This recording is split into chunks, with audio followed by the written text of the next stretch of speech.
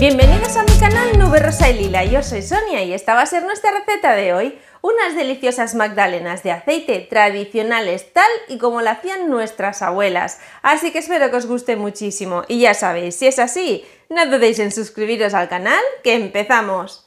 Y para elaborarlas tan solo vamos a necesitar harina de trigo, azúcar, huevos, aceite de oliva levadura química o polvos de hornear, ralladura del limón que es totalmente opcional y unos moldes para magdalenas. Recordad que todo lo vais a encontrar detallado al final del vídeo y abajo en la casilla de información. Lo primero que voy a hacer es añadir la levadura química o polvos de hornear a la harina, lo voy a integrar y lo voy a dejar ya reservado hasta la hora de tamizarlo. Ahora vamos a pasar ya el aceite a un bol.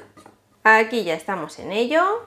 Le añadimos ahora el azúcar ya veis que en esta receta no empezamos por los huevos, ¿eh? que normalmente lo más normal sería empezar por los huevos, pero si queréis que os queden riquísimas, hacedme caso. Ahora con una varilla eléctrica lo vamos a integrar hasta que nos quede una mezcla bien blanquecina. Una vez ya tenemos los dos elementos bien integrados, es el momento de añadirle la ralladura de un limón. Como veis este limón era muy hermoso, limón de estos que hay ahora que son una divinidad. En zumo y para ralladuras son ideales. Integramos de nuevo y le vamos a ir añadiendo ahora los huevos sin parar de batir de uno en uno. Una vez tenemos integrado el primero, entonces ya pasamos a integrarle el siguiente. Así que ahora poquito a poco y a velocidad bajita, ya veis. Esto ya lo tenemos. Vamos a pasar ahora a tamizar esa mezcla que tenemos reservada de harina y levadura.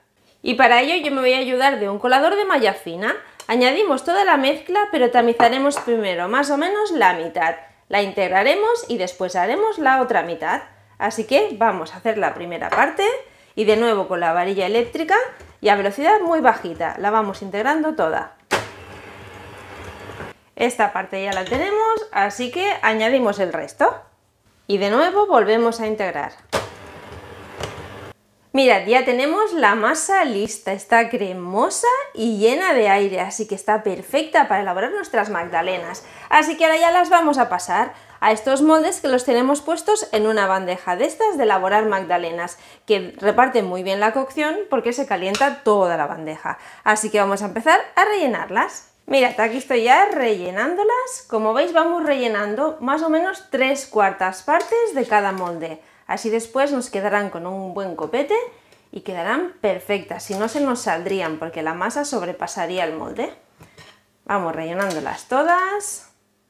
Ahora le añadiremos una pizquita de azúcar por encima que le dará un toque más rústico a nuestras magdalenas y ya nos vamos a ir para el horno. El horno lo tenemos precalentando a 190 grados arriba y abajo sin aire y las vamos a tener de 15 a 20 minutos. Para saber si están podéis utilizar un palito de brocheta y si este sale limpio ya las tenemos. Así que me voy para el horno y cuando las tenga os enseño.